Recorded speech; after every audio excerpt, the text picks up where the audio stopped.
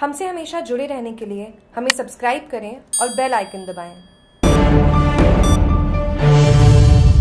महिला अपने हस्तशिल्प को निखार कर सशक्त बने, रूमा देवी बाड़मेर के छोटे से गाँव की निवासी रूमा देवी ने मंगलवार को आरडी फाउंडेशन के स्थापना दिवस पर ग्राम पंचायत पावली में पहुंचकर ग्रामीण महिलाओं को अपने हस्तशिल्प के हुनर को निखार कर मातृशक्ति को स्वावलंबी एवं आत्मनिर्भर बनने का आह्वान किया गौरतलब है कि केवल आठवीं उत्तरनी रूमा देवी आज महिला शक्ति के उद्धान के लिए संपूर्ण विश्व स्तर पर जानी पहचानी जाती है। वे गैर सरकारी संगठन, ग्रामीण विकास एवं चेतना संस्था से जुड़कर महिलाओं को सशक्त बनाने में प्रयासरत है।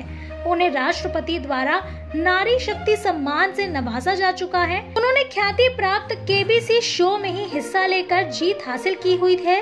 आज इनके पावली आगमन पर सरपंच करता राम चौधरी, विवेकानंद विद्यालय के करता राम हरीश पटेल, प्रधानाचार्य काला राम दादलियान गीगा राम चौधरी तलका राम पीरा राम तारा राम वार्ड पंच भीमा राम, जवाना राम माली समेत सैकड़ों ग्रामीणों ने श्रीमती रुमा देवी का भव्य स्वागत किया। इस दौरान उन्होंने उपस्थित ग्रामीण महिलाओं एवं विद्यार्थियों को संबोधित करते हुए अपने कला शिल्प व हुनर की बारीकी जानकारी देकर आगे बढ़ने के लिए प्रेरित किया।